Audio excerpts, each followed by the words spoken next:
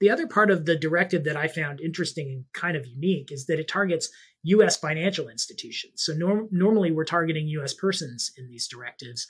Um, the other directives and, and virtually all sanctions provisions really target U.S. persons, sometimes persons within, uh, you know, persons subject to U.S. jurisdiction, but just straight up targeting U.S. financial institutions as the as the main as, as the the named um, the named prohibition or the named subject of the prohibition is relatively new, and I, and I think it's kind of interesting. It really just kind of does go straight to the point. I mean, we know that that OFAC and Treasury and the sanctions community really have focused most of these sanctions on the, the world financial community, but really US financial institutions have always been the main target in terms of compliance.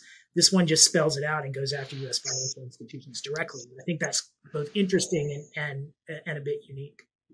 Yeah, I, I would just to follow on to one of the points you made. I, I mean, one of the one of the sort of big picture questions that I would have, which I think we don't have answers, we won't have answers to for some time, is given that this is a, a you know appears to be a more nuanced approach to how to deploy sanctions, and it's not it's sort of a it's a departure clearly from the maximum pressure tactics of the prior administration.